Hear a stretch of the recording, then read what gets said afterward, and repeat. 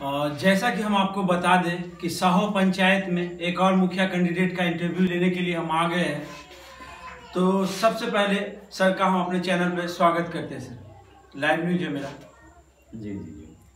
मैं आपके चैनल के माध्यम से आज जैसे छठ का दिन है, मैं तमाम छठ पूजा की तरफ़ से तमाम देशवासियों को अपने ग्रामीण वासियों का हार्दिक हार्दिक अभिनंदन करता हूँ और दुआएँ करता हूँ कि आप हर साल इसी तरह से छठ मनाते रहें। हर साल आपकी ज़िंदगी में खुशियाँ आती रहें। चुनाव चिन्ह और नाम बता देते सर। जी मेरा नाम है कमाल खान और मेरी पत्नी फरजाना खातून जो साहो पंचायत से चुनाव लड़ रही है मुखिया प्रत्याशी और उनका चुनाव चिन्ह है कलम और दवात कमाल भाई के लिए एक शहर बोलना चाह रहे हैं। विपक्षी नेता बहुत सारा उन पे जो आरोप लगा रहे हैं कि समंदर कर चुका तस्लीम उसको समंदर कर चुका तस्लीम उसको खजाने खुद ही बाहर आ रहे हैं। तो सर आपका क्या मुद्दा है जो आप जो लड़ रहे चुनाव लड़ रहे हैं? क्या मुद्दा रहा आपका? देखिए मुद्दा इंसान क्या तलाश करता है? इंसान जो कैंडिडेट तलाश करता है वो कैंडिडेट में देखना चाहता है कि इसके अंदर क्या ऐसी चीज़ है जो हमारे समाज के लिए भलाई कर सके। वो जानना चाहता है वो देखता है अपने प्रतिनिधि को इसलिए चुनता है कि हमारे गाँव का विकास हो सके। ये पंचायत की क्या कमियाँ रही थी जो आपको कैंडिडेट के रूप में खड़ा होना रहा इस पंचायत की एक एक चीज़ आपको गिनती कराता हूँ। पंचायत में सबसे पहले तो घूसखोरी है। और ये नॉर्मल सी बात है, हर जगह होती है, हमने भी जाना है, आप भी जानते हैं। लेकिन जब हमें एक मास, ये समझ लीजिए कि विधवाओं से और पैसा लिया जाता है मृत्यु प्रमाण पत्र बनाने का तो समझ लीजिए कि समाज कहाँ तक जा चुका है। और समाज के वो प्रतिनिधि जो है, जो ऐसा पैसा लेके इस्तेमाल करते हैं, उनसे जरा पूछेगा कि ऐसा क्यों होता है। वो कहें अगर नहीं मालूम है तो माफ़ कीजिएगा फिर आप देश की चौकीदारी गाँव की नहीं कर रहे फिर आप सोए हुए आप जिस रास्ते से आए वो रास्ता आपको कैसा लग रहा है? ज़ाहिर सी बात हम देखते हैं पूरा पानी भरा हुआ है रोड जर्जर हालत में है। और आज के जमाने में कहीं पे कोई दरवाज़ा मिला है? आप मेरे घर के अंदर में दरवाज़ा मेरे पास भी नहीं है। दरवाज़ा मिलता है कहीं पे बेटियों की शादी होगी तो उस कहाँ पे होगी? आपके पास विवाह भवन भी मौजूद नहीं है। तो फिर जब आपके पास विवाह भवन मौजूद नहीं है तो फिर आपकी बेटी हो या हमारी बेटी हो वो कहाँ पे उसकी बारात आएगी? कहाँ पे हम लोग उनकी शादी के लिए इंतज़ाम करेंगे? खाने का इंतज़ाम करना है? शादी में जैसा होता है नॉर्मली कैसे कर पाएँगे? विपक्षी दल का एक नारा आजकल बहुत फ़ेमस हो रहा है। घर बेचकर आया है मुँह लटका कर जाएगा। इस पे क्या बोलना चाह रहे हैं आप सर? जी मुझे बेहद खुशी है कि उन्होंने इस नारे को दिया और मैं कहता हूँ जैसे हनुमान को संजीवनी बूटी मिली थी।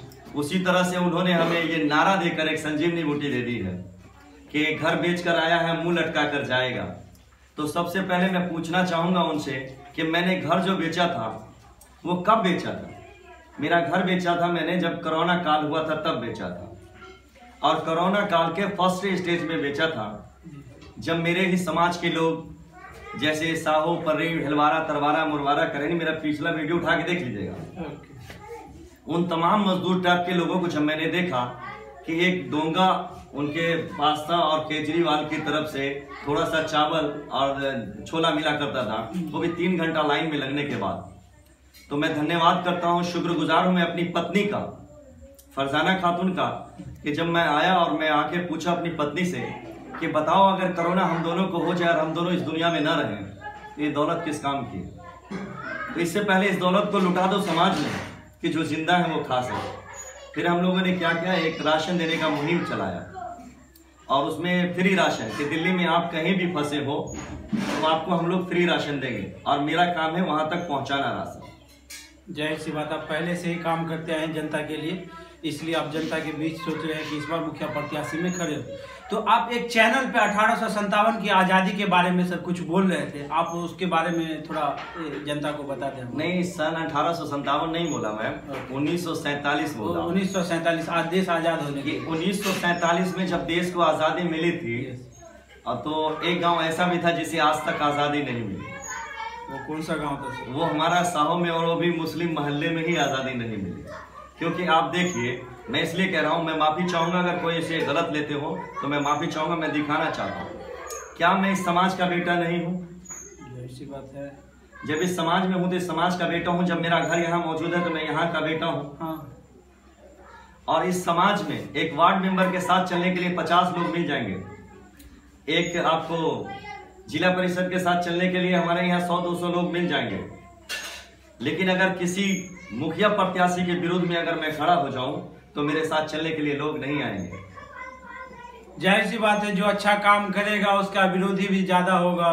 तो और पहले से जो राजनीति में है तो गाँव में उनको बहुत सारे जनता को डरा के रखते हैं। लेकिन मैं शुक्रगुजार हूँ साहू पंचायत के तमाम युवाओं का जिन्होंने मुझ जैसे नाचीज को गले से लगाने के लिए अपनी इतनी मेहनतें की। मुद्दा यहाँ तक कह दिया है कि आपको हम अब साथ लेके चलेंगे। और जब मेरी जान जाती है, तब आपकी जाएगी। इतना भरोसा हमारे युवाओं ने मुझे दिया।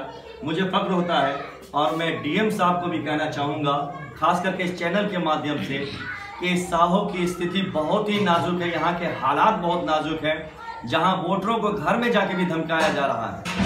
इलेक्शन के बाद उनके हाथ काटने की भी धमकी दी जा रही है, उन्हें मारने की भी धमकी दी जा रही है। लेकिन होता क्या है कि चुनावी माहौल है जिनकी जो आदत होती है, उससे बात नहीं आती। है और हम भी जानते हैं कि होना कुछ नहीं, लेकिन वोटर को डराने के लिए जो किया जाता है काम, ये कहीं ना कहीं उनके अधिकारों को, लोकतंत्र की आज़ादी को उनसे छीना जाता है।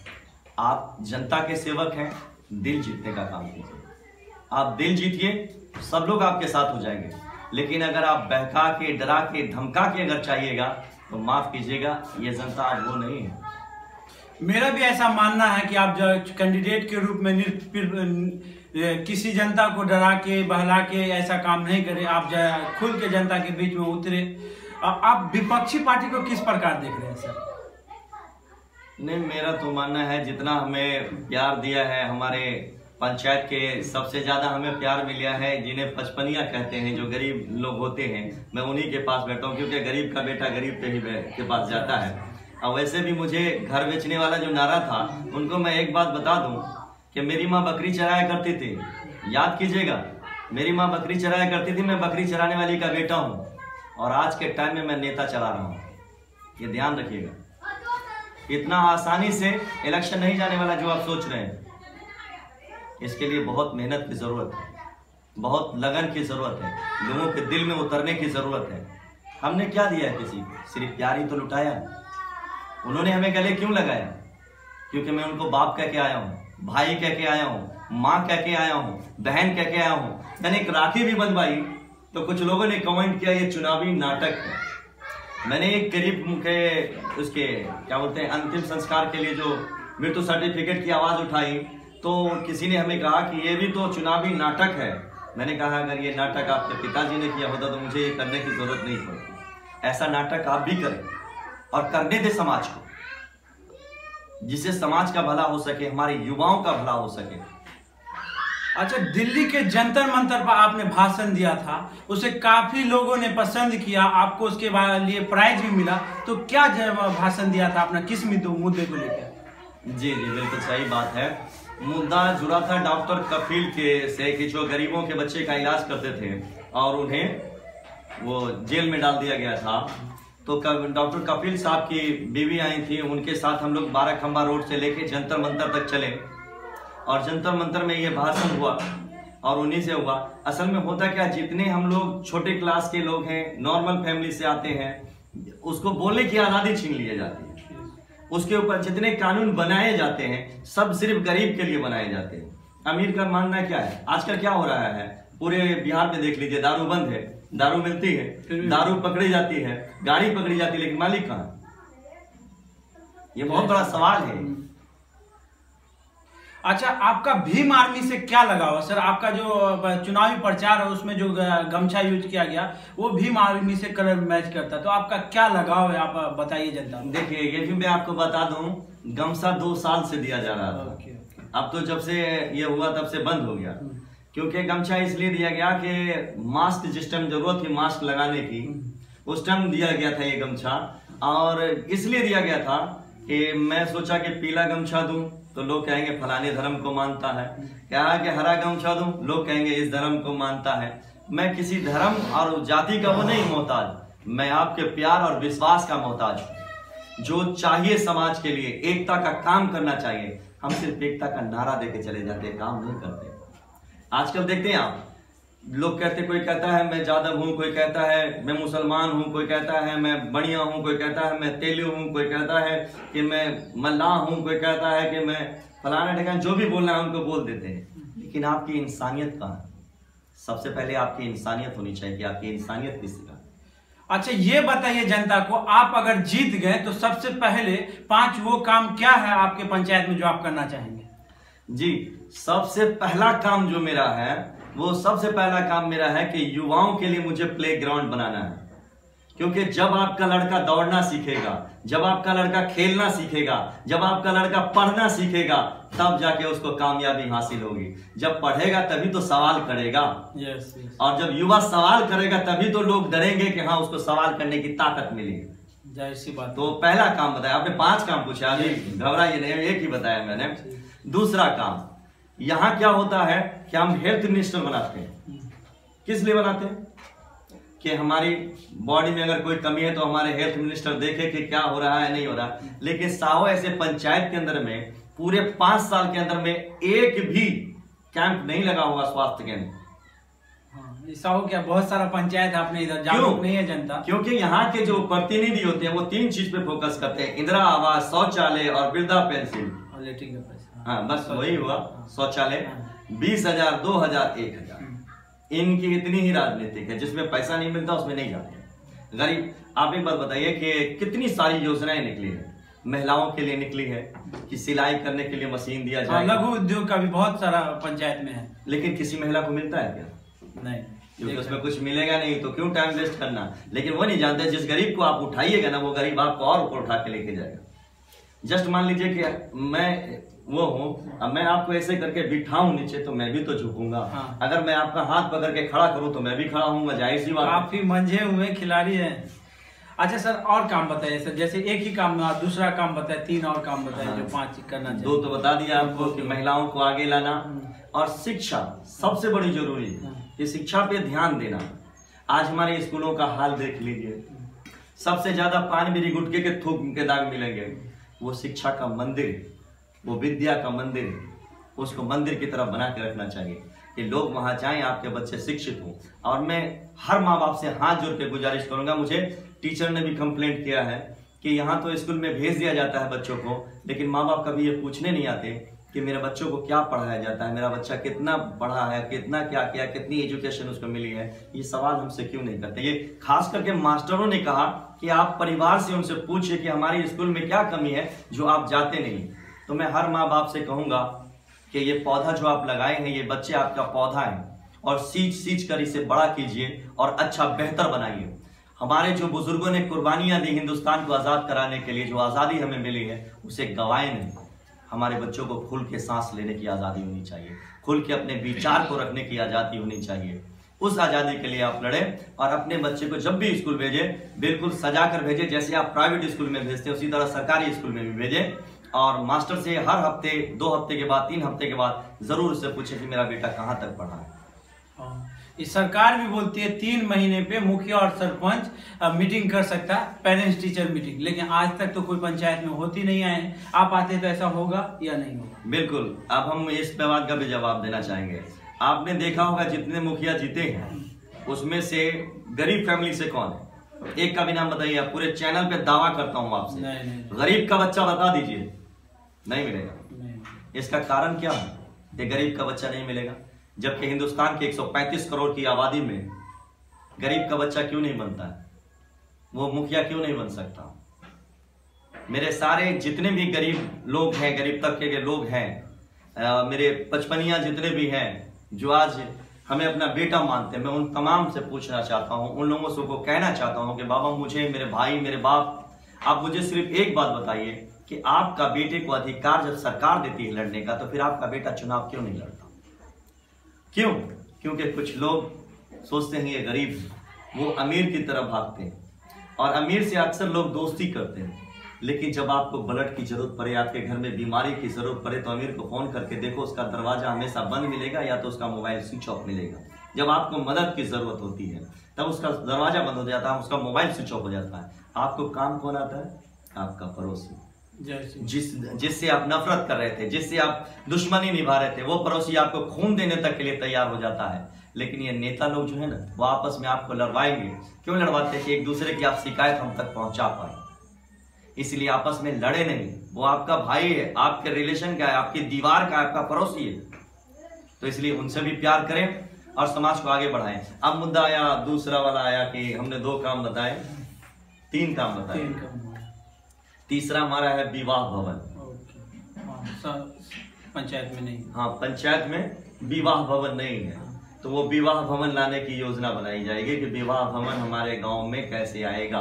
और हर एक पंचायत के हर एक वार्ड में विवाह भवन होना चाहिए। ज़ाहिर सी बात है क्योंकि अब पॉपुलेशन बढ़ती जा रही है गलियाँ संकरी होती जा रही है विवाह भवन नहीं रहेगा तो शादी कहाँ पे हो पाएगी? आपका मुद्दा सही है। और दूसरा जैसे हमारे बुज़ुर्ग हैं वो बीमार पड़ जाते हैं, उनके पास पैसा नहीं है, क्योंकि मैंने एक बाबा थे हमारे, वो मर गए। माफ़ करें, मैं बोलना नहीं चाहता था, लेकिन आपके चैनल के माध्यम से कहना पड़ेगा, क्योंकि जब मैं गया नवहरन गाँव के अंदर में तो मैंने उनको देखा, मंदिर पे थे तो मैंने जैसे हाथ रखा तो उनके आँखों से आँसू गिरने वाला था। मैंने पूछा, क्या हुआ बाबा? मैंने सीने से लगाया उनको, और पूछा, क्या हुआ? तो वो रोने लगे रोने के बाद जब वो पलटी मार के दिखाए तो पूरे पीछे में जख्म था और जो धोती थी उसमें सटी हुई थी। तो आप एक बात बताइए, उस 80 साल के आदमी से जिसको उठने की ताकत नहीं है, वो इलाज का पैसा कहाँ से कमाए? और जो हमारे प्रतिनिधि हैं उनको ज़रूरत ही नहीं पूछने की जीतने के बाद कोई के प्रत्याशी किसी के पास नहीं जाता। आप इतना उम्मीद दिलाएँ जनता को कि आप उन तक जाएँगे उनकी समस्या को सुनेंगे। जी जी। ये तो मैंने पहले कहा। अरे इलेक्शन तो अभी आया है मेरा। मैं तो पूरे पिछले पाँच साल का रिकॉर्ड बता रहा हूँ कि आप मेरा कोई सा भी वीडियो निकाल के दिखाइए। एक वीडियो में भी अगर मैंने किसी गरीब के आगे उसकी मदद ना की होगी और उसकी मदद के लिए आवाज़ नहीं उठाई होगी तो मैं आज ही इलेक्शन लड़ना छोड़ दूँगा। नहीं मैंने पब्लिक के बीच में आपका नाम बहुत सुना है। उम्मीद है कि आप को अच्छी जीत हासिल होगी। अच्छा सर ये मैं जब आ रहा था आपके गाँव में तो गलियाँ बहुत संकरी तो मिली ही साथ में जगह जगह पे रोड खराब मिले ऊपर से पानी मिला। आप जीतते हैं तो क्या करेंगे आप उनके लिए? कुछ उपाय निकालेंगे? हमारे जो अभी प्रतिनिधि का एक नारा था कि आप हमें एक मौका दीजिए पिछले पोस्टर में भी लिखा था। कि आप हमें एक मौका दीजिए हम विकास की गंगा बहा तो मौका तो दे दिया पब्लिक ने कहा विकास हुआ तो गंगा बह रही है ना? गंगा बह रही है पूरा। तो गंगा बह रही है उसी का तो है कि हमें एक मौका दीजिए हम विकास की गंगा बहा देंगे। और फिर जो आदमी आपको पूरे दस साल में नाला नाली खरंजे से ना निकाल पाया हो उसको आप पाँच साल और देके क्या करेंगे आप? ज़ाहिर सी बात है एक बार मौका मिल गया दोबारा नहीं मिलेगा। आप काम नहीं करेंगे तो दोबारा मौका नहीं देगी जनता।